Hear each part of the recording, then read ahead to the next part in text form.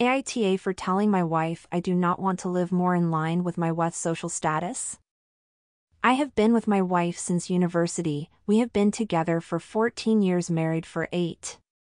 My practice has been doing very well, and I do have joint finances with my wife. We have recently been arguing more about money. I am a frugal person when it comes to things materialistic items. I am all for spending on trips and adventures and we do so often. I just despise spending money on items that overly show my wealth. My wife has made claims that it is unfair and embarrassing that we live the way we do. She wants to be more in line with her friends.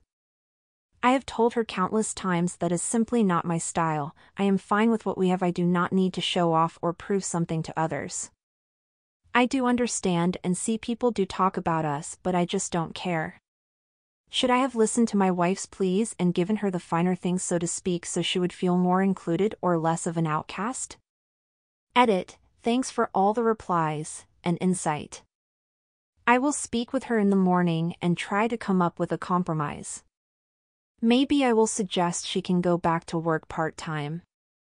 I will still cover every joint expense and the money she gets from work she can use however she sees fit. Edit, did not expect to see this blow up. I have been given a lot to think about and have been enjoying the discussion that is being had. I do appreciate it. Most likely will be my final edit. Did not expect this thread to blow up the way it did. I did enjoy the few discussion threads. Time to go back to adulting, either way thanks for everything this was informative, insightful, and a blast. Takes me back to my old WoW forum days as a kid. Have a good one everyone. Remember anime is timeless. Edit, I chose to not open with the idea of her working. I just told her I would take off next week so we could take the time to figure out exactly what is going on. I will tackle her spending, safety concerns, and what she wants out of the marriage and life.